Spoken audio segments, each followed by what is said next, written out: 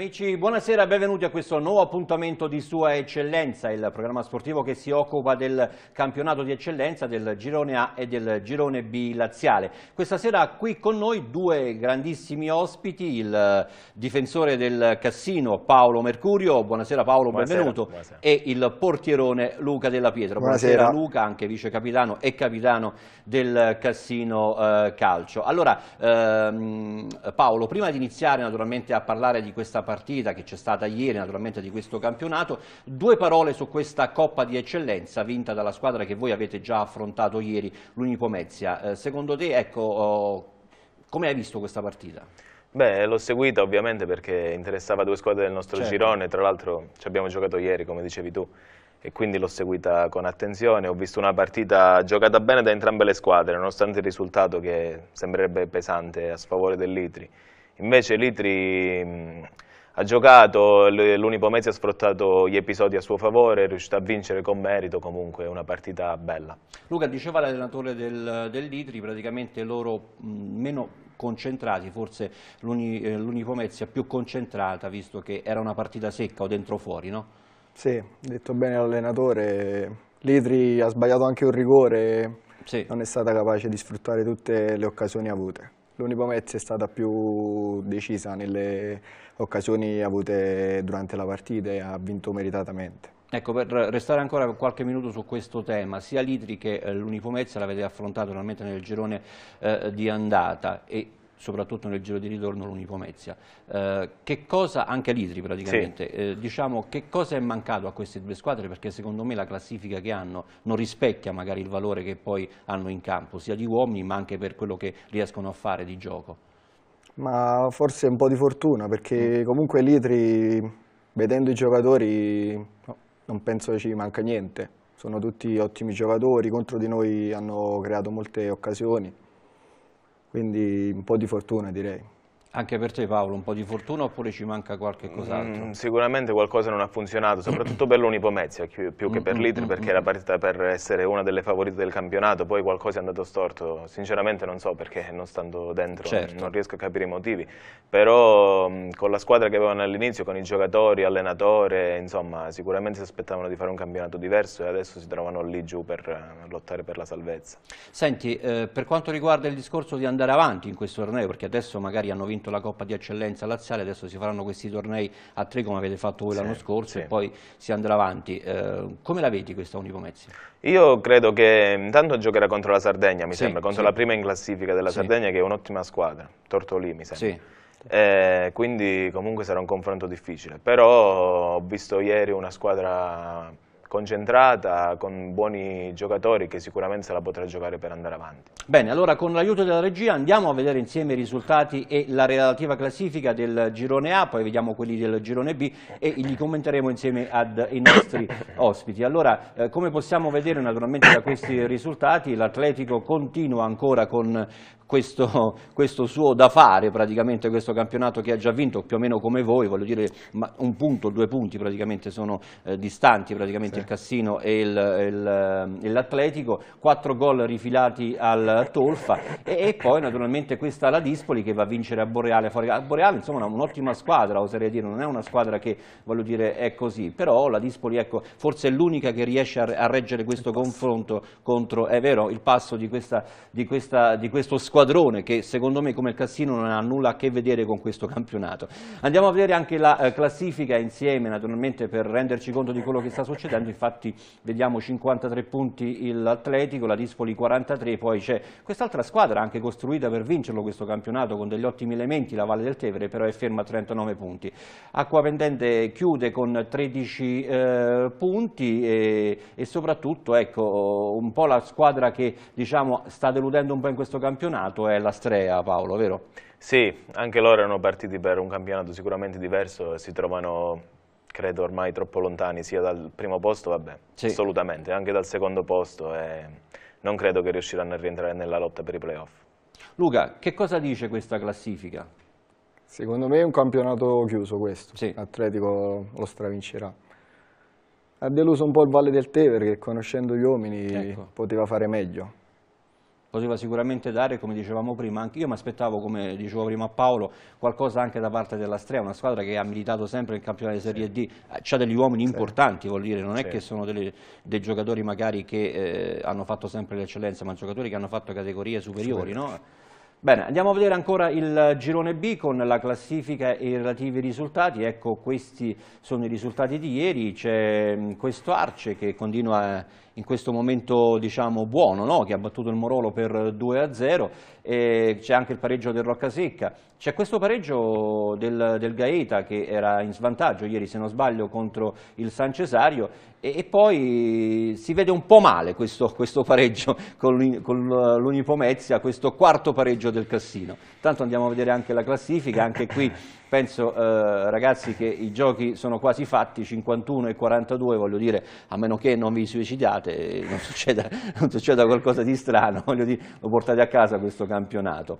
Eh, qui anche questa Priglia che sembrava insieme con l'Artena che voleva magari ecco, andare un po', voleva fare qualcosa di particolare, però a quel punto non, non è riuscita ad avere il passo vostro, il passo del Colleferro.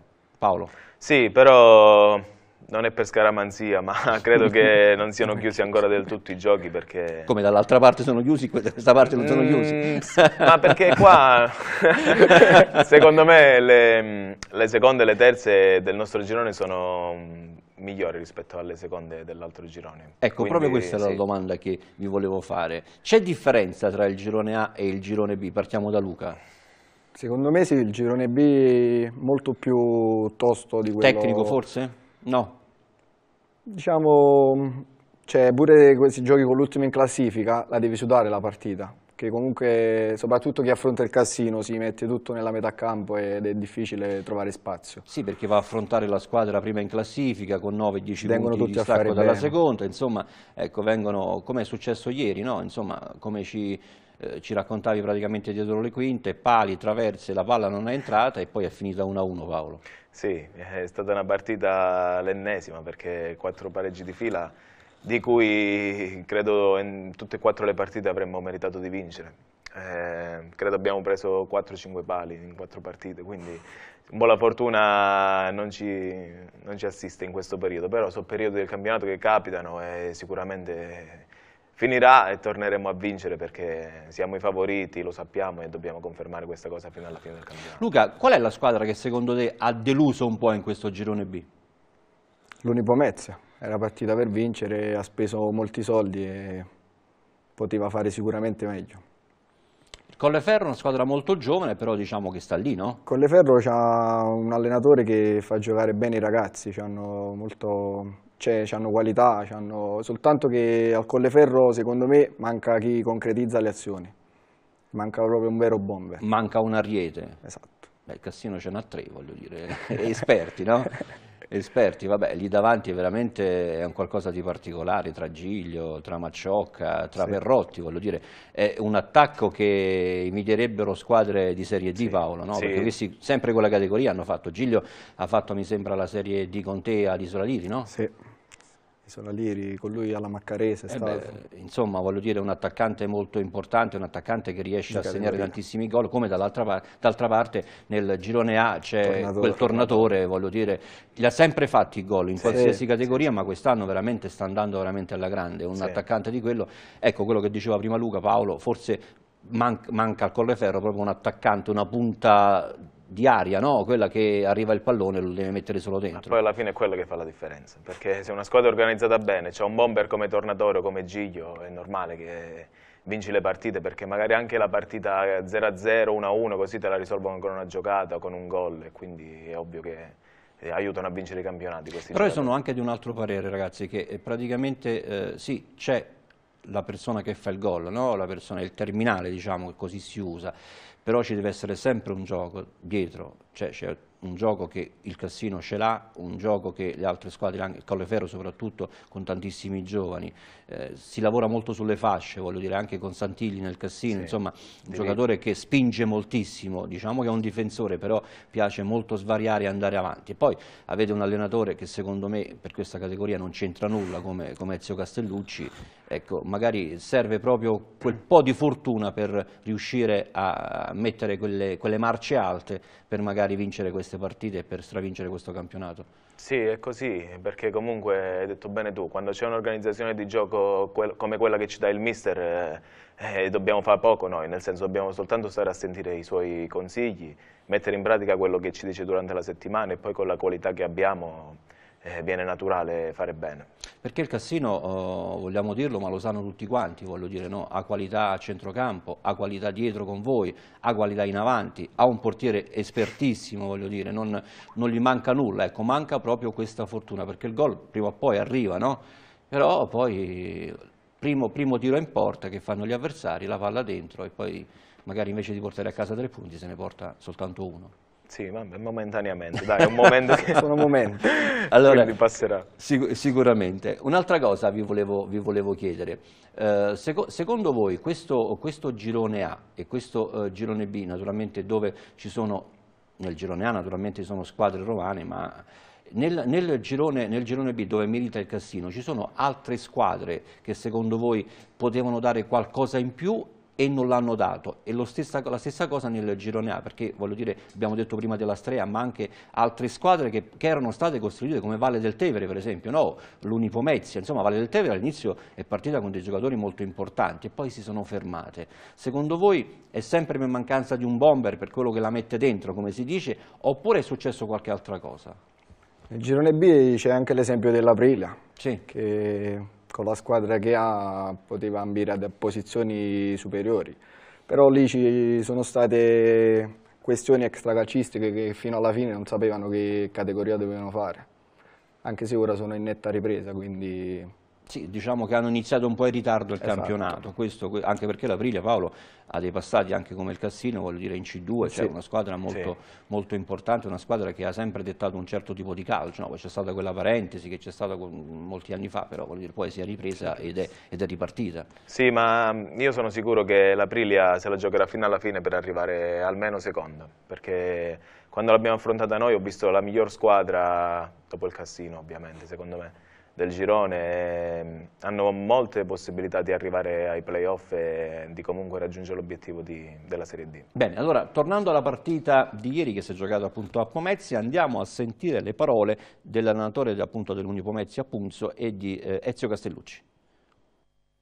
È stata una bella partita secondo me, giocata bene da tutte e due le squadre, noi probabilmente con le prestazioni ultime stiamo dimostrando di valere qualcosina in più della classifica che abbiamo in questo momento, ma noi dobbiamo continuare a credere nelle nostre prestazioni, sicuramente la partita di mercoledì ci ha dato una ventata di come posso dire, autostima importante. Oggi ce la siamo giocata secondo me alla pari con una grande squadra che vincerà secondo me molto meritatamente il suo campionato.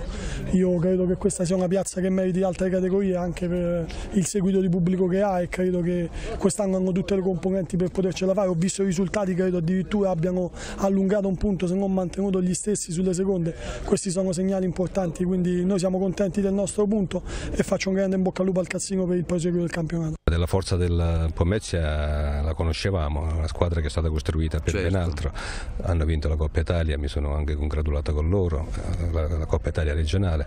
E credo che comunque oggi il eh, Cassina abbia disputato una delle migliori gare della stagione, abbiamo disputato una gran gara sotto ogni aspetto, tecnico, spessore agonistico, abbiamo avuto solo il torto forse di non chiudere la gara come in queste ultime partite ci è mancato, però in queste ultime partite meritavamo ampiamente la vittoria come la meritavamo anche oggi. E credo che dobbiamo stare camminare a, a, testa alta e tutti quanti, anche i nostri tifosi, devono essere soddisfatti e orgogliosi della propria squadra perché eh, la stiamo onorando e veramente stiamo facendo bene. Paolo Castellucci ha detto che forse ieri, non forse, è stata la più bella partita dell'intero campionato. Ha detto una delle migliori e sono d'accordo con lui perché abbiamo giocato veramente bene contro una squadra forte, molto forte, quindi non era facile sul campo loro eh, fare una prestazione del genere. Poi, eh, come ho detto prima, come ha detto anche Luca, un pochino di sfortuna, due pali, ci hanno negato la vittoria, però la prestazione non si può discutere. Bene, allora siamo quasi in chiusura, andiamo a vedere insieme il prossimo turno del girone A e del girone B, vediamo quali saranno gli incroci appunto di domenica prossima e ci salta subito all'occhio Paolo questo eh, la Dispoli Civitavecchia, no? Bella partita. Una bella partita che sì. sicuramente dirà, dirà molte per cose. Il secondo posto è molto importante e anche Tolfa Boreale, insomma non è, non è male sì. e, questo, e, questo, Atletico che, che, andrà a far visita, Ma, penso a questa oramai... Sulla carta dovrebbe sulla essere carta, sulla carta dovrebbe, dovrebbe, essere una passeggiata, sì. però eh, il calcio non dice questo, esatto, il calcio esatto. magari ecco, può dire anche che questa partita eh, per un po' di fortuna, per altre situazioni può andare in un altro verso, però sono tantissimi punti magari che ha di vantaggio l'Atletico sulla seconda e non ci sono sicuramente problemi. Andiamo a vedere anche il girone, il girone B dove questo, questo Cassino va a San Cesario, no? una partita sulla carta, anche questa facile per, per il Cassino, però voglio dire non, non, tanto, non tanto, facile.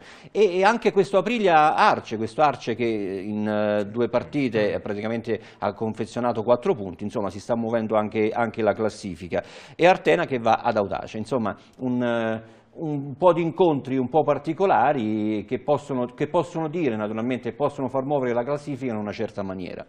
Sì, secondo me la partita più bella è proprio Artena Audace perché l'Audace è una squadra che gioca molto bene. L'Artena è lì al secondo posto, cerca di raggiungerci e quindi sarà un, uno scontro molto bello. E noi invece col San Cesario sicuramente non sottovaluteremo l'avversario che tra l'altro è in ripresa sì. rispetto all'andata. Sì è molto in ripresa e quindi non ci possiamo permettere di sottovalutare. Ieri in vantaggio, se non sbaglio, a Gaeta, se non sbaglio il... In casa contro il Gaeta, vinceva 1-0, sì, sì, poi è stato raggiunto. Sì. E poi è stato raggiunto. Luca, secondo te allora questo, questo incontro di domenica prossima con questo San Cesario?